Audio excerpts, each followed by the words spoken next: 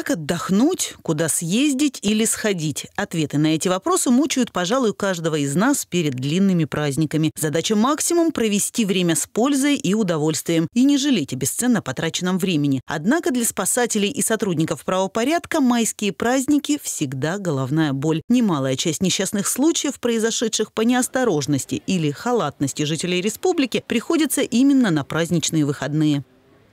Вместе с установившейся в регионе аномально жаркой погодой реки республики во вторые майские праздники еще больше заполнились катамаранами с любителями активного отдыха. А вместе с тем работы прибавилось и у спасателей. На реке Юшут, там, где в первые майские погиб молодой человек, турист из Казани, вновь произошло ЧП и вновь с гостями из Татарстана. Группа незарегистрированная сплавлялась по реке Юшут от населенного пункта Мочелище – и где-то ровно посередине остановились на привал, и три девочки, 15, э, двое 15 лет и 17 лет, решили прогуляться по лесу. Не подрасчитали, видимо, разговорились, а когда опомнились, оказались в лесу. У них началась паника, начали звонить на все инстанции, в том числе и на 112, и попросили помощи. А это оказалось около 8 часов.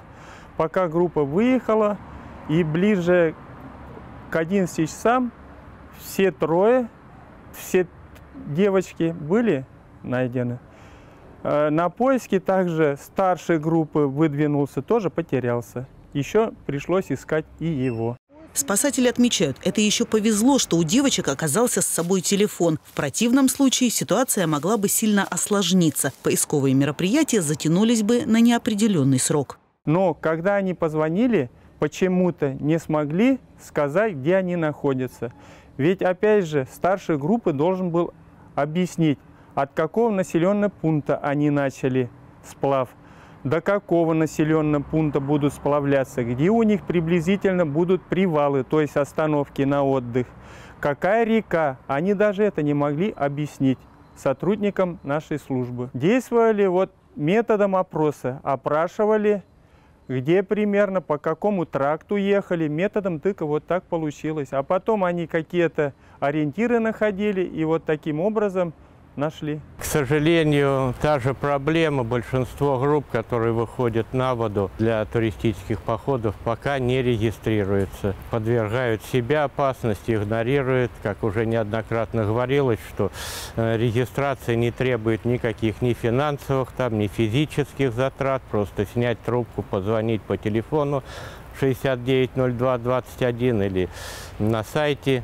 написать письмо по электронке в Главное управление, и тогда вопросы, связанные там с поиском, с оказанием помощи, они будут намного оперативнее, нежели происходит и даже вот происходило сейчас, прошедшие выходные дни.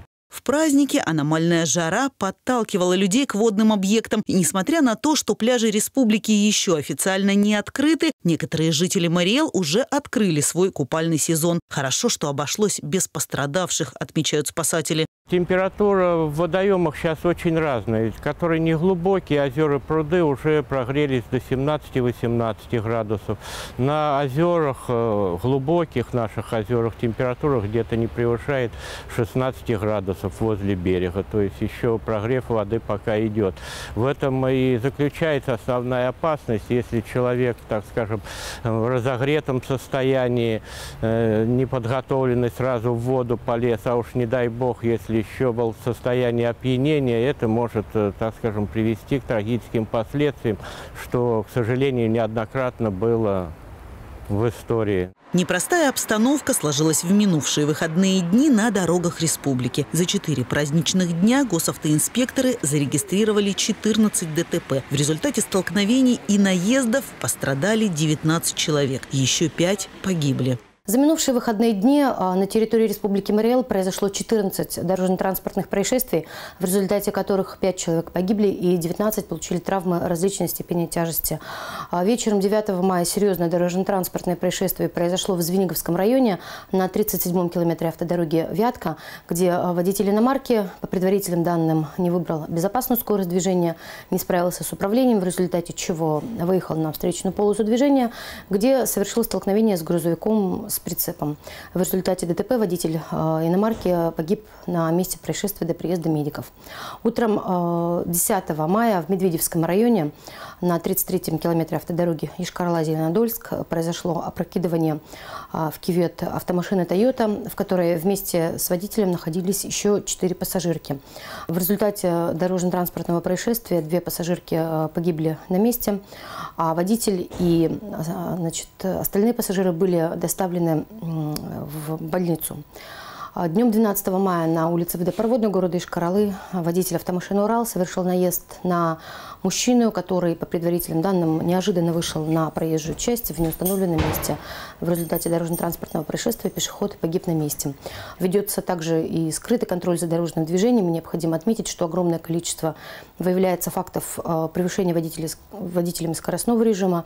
Автоинспекторы выявляют это как при помощи приборов э, фотофиксации, так и с помощью аппаратно-программных комплексов «Арена», которые в настоящее время э, устанавливаются в большом количестве на загородных а, трассах. Причем э, пересмотрено время их установки. Теперь их устанавливают а, с трех часов утра и, в общем-то, до позднего вечера.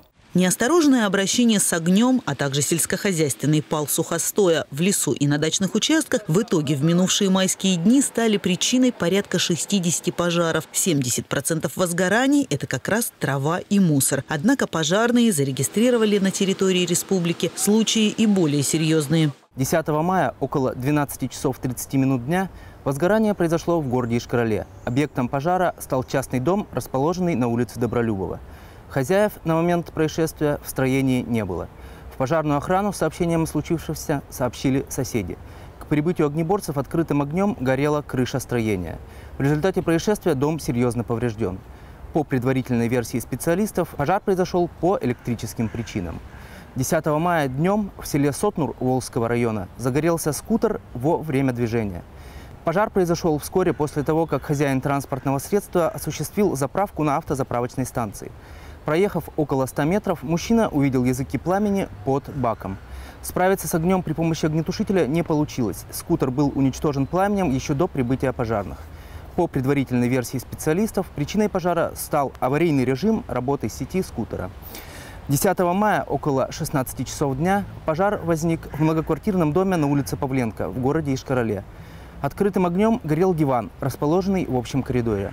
Прибывшие на место происшествия пожарные локализовали и ликвидировали открытое горение, не дав пламени перекинуться на квартиры соседей.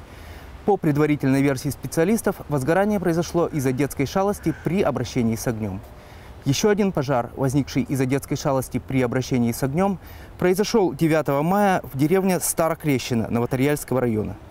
Как было установлено, мальчик дошкольного возраста играл на веранде дома зажигалкой – он поджег вещи, находящиеся на диване, а сам испугался и убежал. Аномальная жара в регионе стала непростым испытанием и для любителей городских праздничных мероприятий. Особенно тяжело солнцепек переносят дети, пожилые люди и те, у кого присутствуют хронические заболевания. Вызовов было много. Во-первых, это праздники и перед праздниками как раз э, подготовка шла к празднику на улице. Ну, люди не ожидали, что такая погода будет аномально жаркое, и без головных уборов. Де детей много было, которые в обмороке падали. Э, вызывали, оказывали помощь. Беседу проводили с ними, как надо одеваться в такую погоду и долго не стоять э, на солнцепилке. Надо на голову что-то одевать, чтобы такого не было. Одни отдыхают, другие орудуют. В праздничные дни, как правило, активизируются мошенники. В теплые дни объектом злоумышленников нередко становится велотранспорт. За прошедшие выходные дни в республике неизвестные похитили три велосипеда. Во всех случаях велотранспорт находился в подъездах и тамбурах первых этажей жилых домов. Злоумышленники без затруднений совершали кражи, так как велосипеды не были пристегнуты замками. Общий ущерб составил более 20 тысяч рублей. Полицейские настоятельно рекомендуют гражданам хранить велосипеды, самокаты, детские коляски и другое имущество в запираемых помещениях. При отсутствии такой возможности закрепляйте велосипед надежным тросовым замком. Впереди лето, а вместе с тем гарантированы выезды жителей республики на природу, купание в открытых водоемах и пикники. Сотрудники правопорядка, госавтоинспекторы, спасатели весь сезон будут, что называется, на чеку. Но несмотря на это, дежурные службы республики напоминают, собственная безопасность в руках каждого жителя Мариэл, а пренебрежение элементарными правилами безопасности в любой момент может привести к трагедии. И забывать об этом не стоит ни при каких обстоятельствах.